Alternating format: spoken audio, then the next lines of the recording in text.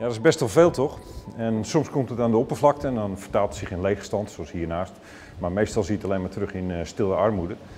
Um, en uh, laten we niet vergeten in maatschappelijke last. Want wist u dat iedere onderneming die ermee stopt, dat dat gemiddeld voor de samenleving 50.000 euro aan kosten met zich meebrengt.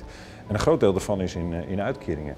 Terwijl uit ons onderzoek blijkt dat de helft van die ondernemingen die uiteindelijk stoppen, dat die in de basis gewoon levensvatbaar zijn. Maar ze hebben ergens tegenwind gehad en weten vervolgens niet waar ze naartoe moeten.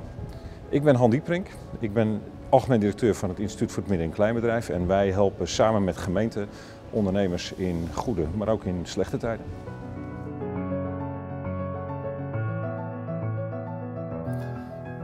Bestaande ondernemers verdienen in deze tijd echt meer aandacht. Het wordt hoog tijd dat de gemeenten in actie komen.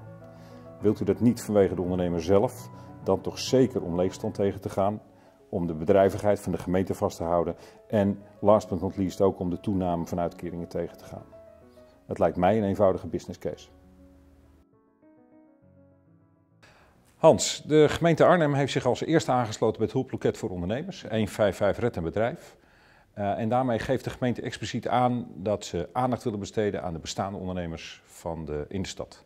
Uh, wat beoogt de gemeente daarmee?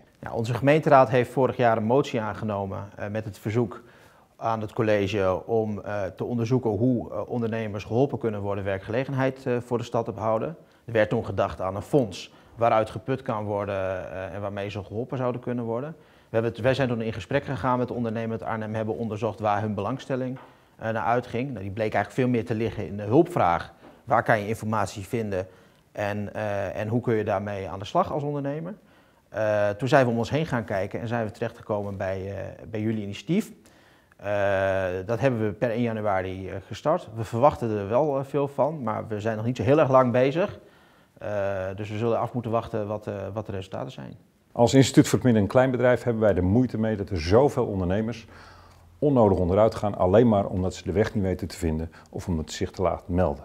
En daarom hebben wij 155 Red een Bedrijf in het leven geroepen, waarmee we de gemeente een heel laagdrempelig instrument bieden om iets voor die ondernemer te doen.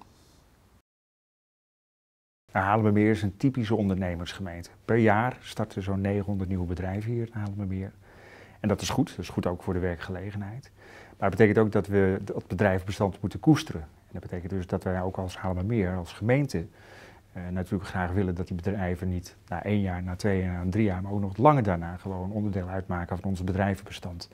En dat is dus misschien ook een van de redenen waarom het goed zou kunnen zijn dat je gebruik maakt van de diensten van 155. Juist om ook te zorgen dat die bedrijven die er zijn, er ook kunnen blijven.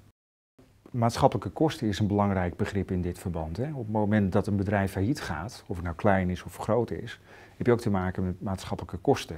En dat is natuurlijk iets wat je ook als bestuurder, als wethouder in mijn geval, van een belangrijke gemeente als Haalmermeer meeweegt in de besluiten, in de stappen die je gaat zetten. Dus maatschappelijke kosten en die beheersen als het gaat in, om faillissementen of om zelfs misschien reorganisaties. Hè, een mildere vorm die er eigenlijk aan een faillissement natuurlijk vooraf gaat. Dat is een belangrijke overweging. Kijk, hier gaat het intussen een uh, heel stuk beter. Maar dat geldt zeker niet voor alle ondernemers in de stad. En die hebben de hulp van de gemeente uh, heel hard nodig. Met 155 zijn we intussen in uh, verschillende gemeenten bezig. Bent u ook geïnteresseerd om aan te sluiten bij de hulplijn voor ondernemers? Ga dan naar 155.nl, schuine streep en dan de naam van uw gemeente. Dank u wel.